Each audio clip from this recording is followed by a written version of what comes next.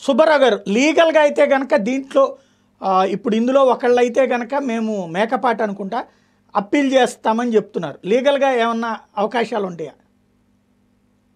ఒకటి సాయి గారు దీంట్లో చాలా స్పష్టం. ఎక్కడ కూడా ఆధారాలు లేనటువంటి ఆరోపణలతో ఈ రోజున ఒకళ్ళ మీద ఒకళ్ళు మాటలు విసురుకుంటున్నారు. లేదంటే ఇన్ని కోట్ల రూపాయలు ఆఫర్ చేశారని చెప్పి చెప్పుకుంటున్నారు. ఇక్కడ అధికార పార్టీ కూడా క్రాస్ ఓటింగ్ వేసిందనేది ప్రజాప్రాతినిధ్య చట్టంలో చాలా స్పష్టంగా ఉంది.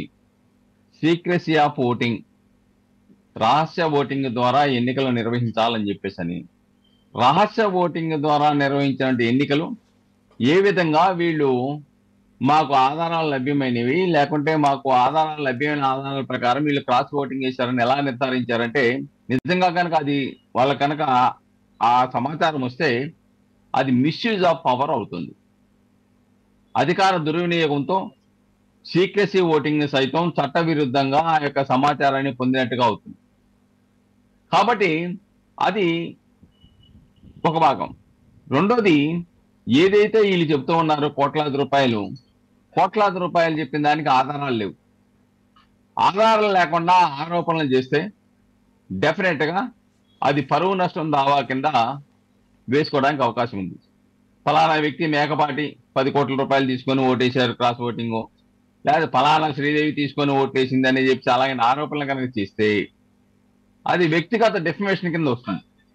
పరువు నష్టం దావా వేసేసి దానికి కావాల్సిన నష్టపరిహారాన్ని పొందే అవకాశాలు ఉన్నాయి. ఎందుకంటే అది ప్రూవ్ చేయటం అంత ఈజీ ఏం కాదు. ఫలానా వాళ్ళు కోట్లు ఫలా ఇన్ని కోట్లు ఆఫర్ చేశారో లేకుంటే ఇన్ని కోట్లు తీసుకున్నారో ఇవి నిరూపణ చేయటం సాధ్యం కాదు. కాబట్టి నిరూపణ చేయనప్పుడు వాళ్ళని వాళ్ళ యొక్క పరువుకి భంగం కలిగించారు పరువుకి నష్టం కలిగించారు ప్రజల్లో వాళ్ళ యొక్క పరువును తీశారు అని చెప్పేసి అని నష్టపరిహారం ఇచ్చింది. అలా చేసిన నష్టపరిహారమే కదా మోడీ గారి మీద రాహుల్ గాంధీ. మోదీ అనే వాళ్ళందరూ కూడా దొంగలే ఆ పేరున్న వాళ్ళు దొంగలే అని అన్నందుకు డెఫినేషన్ వేశారు కదా. ఇప్పుడు మరి పది కోట్ల రూపాయలు తీసుకున్నారు డబ్బులు తీసుకొని ఓట్లు వేశారు క్రాస్ ఓటింగ్ వేశారంటే ఆధారం లేకుండా ఆరోపణలు చేస్తే ఇది కూడా డెఫినేషనే కదా. కాబట్టి ఆ విధంగా న్యాయస్థానాలను ఆశ్రయించి డెఫినేషన్ క్రిమినల్ సివిల్ కూడా వేసుకోవచ్చండి. క్రిమినల్ డెఫినేషన్లో అయితే శిక్ష పడుతుంది. సివిల్ డ్యామేజ్ ఆ యొక్క పరువు నష్టం ఎంత పోయింది కాబట్టి వాళ్ళ యొక్క పరువును సంబంధించి ఎన్ని లక్షలు వేసుకుంటారా కోర్టుకి వేసుకుంటారా వేసుకోవచ్చు. కాబట్టి చట్ట ప్రకారంగా ఇప్పుడు ఏమంటే రాజకీయ విభేదాల్లో ఉన్నవి లేనివి ఆధారాలు ఉన్నా లేకపోయినా కానీ విమర్శలు చేయటం అనేది ఒక సహజ ధోరణగా మారిపోయింది.